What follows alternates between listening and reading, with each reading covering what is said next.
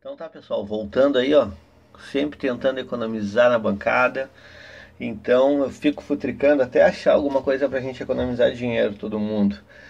Aí, então eh, vocês conhecem esse cara aqui, né? Então, muito bem falado, todo mundo fala super bem dele. E muitos elogios, pouca gente criticando. Vi muitos vídeos sobre ele falando das suas funções, então comecei a, a pesquisar e tentar achar esse é o intuito do canal, né? Tentar achar coisa barata para bancada. Então, consegui achar um similar. Ele fica em torno de 100 reais, mais ou menos na cotação de hoje. E em dólares sai 32 dólares em média, né, de um bom fornecedor, um fornecedor confiável, pelo AliExpress. Então, tá, agora eu vou mostrar para vocês então a foto do outro. Notaram a semelhança? É o mesmo. Na realidade, o fabricante é o Victor. A Victor que fabrica. Né? Então a, Ricari no Brasil só bota a logomarca dele. Né? Então, mas é o mesmo. Então, para mim ter certeza, eu abri. Agora vou mostrar umas fotos comparativas da abertura. Né? Então, as fotos dizem por si só. Eu vou mostrar como estou mostrando aí, essas fotos uh, mostram o, o, no caso o, o Icari 2090 e o Victor, né?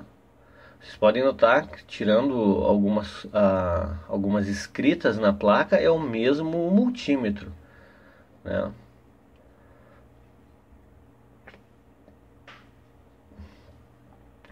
Beleza. Então agora eu vou, vou mostrar ele, tá aqui. Tá aqui ele. Esse aqui ainda ne, nem é Victor, pode olhar que tá escrito só VC97.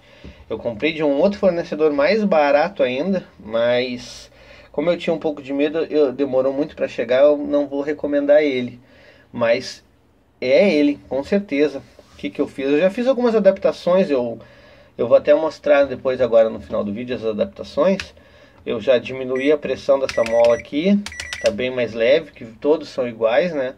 E eu não cancelei totalmente o alto-falante, eu só reduzi o alto-falante. Eu botei um, eu vou mostrar aqui agora um videozinho fazendo isso. Lubrifiquei, vou mostrar a adaptação para diminuir a pressão da mola. E onde eu botei ali a diminuição do volume do, do alto-falante, que senão fica pé, pé, muito alto. Ele pode, ele tá bem mais baixo do que é o normal. Vendo? Chegava a ser um. chegava a doer o ouvido.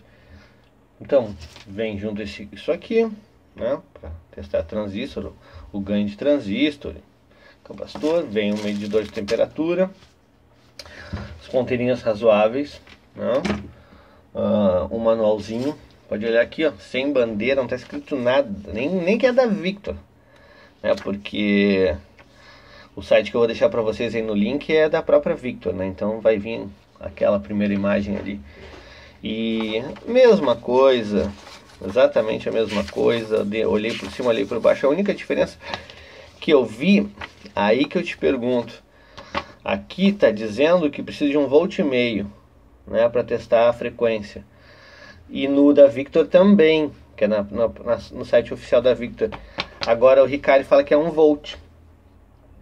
Mas se eles são irmãos gêmeos, aí é complicado. De repente aqui eles não, não quiserem diminuir tanto a margem, né? Tá aqui, ó, um volt e meio.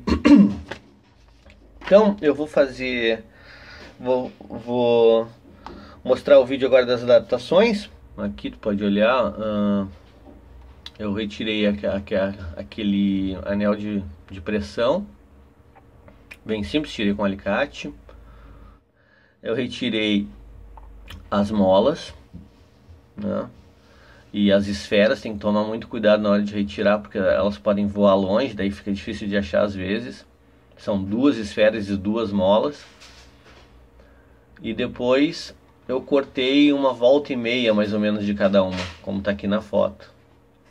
Tá? O que, que eu fiz? Porque essas bolinhas ficam caindo na hora de botar no lugar. Eu usei graxa branca, né? Graxa lubrificante. Botei também graxa no, dentro do equipamento, né? Aqui nessa parte que tem a, as fresas, né? E também eu botei graxa, mas é onde ele gira, porque tem uma fricção do plástico com o plástico. E eu também botei graxa ali, como, como apareceu, vai aparecer no vídeo.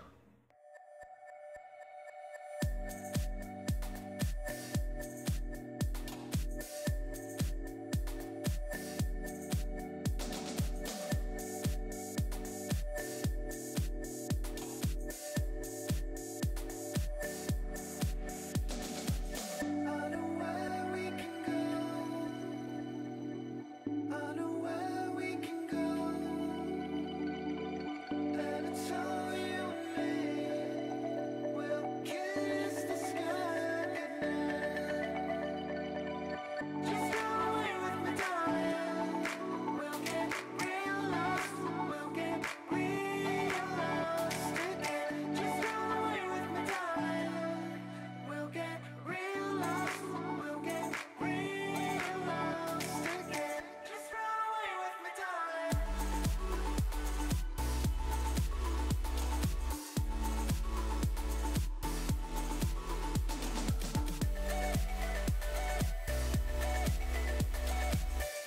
E ficou bom, ficou bem, bem suave mesmo. Vou mostrar aqui novamente, ó. Ó, não é aquele estourão que dá, tá bem mais fácil. Daí, vou terminar o vídeo agora e depois eu vou botar em sequência, creio que hoje ainda, um vídeo fazendo os testes comparativos dele, né, para mostrar que realmente ele é o mesmo Ricari HM2090. Falou? Então, até mais e tudo de bom.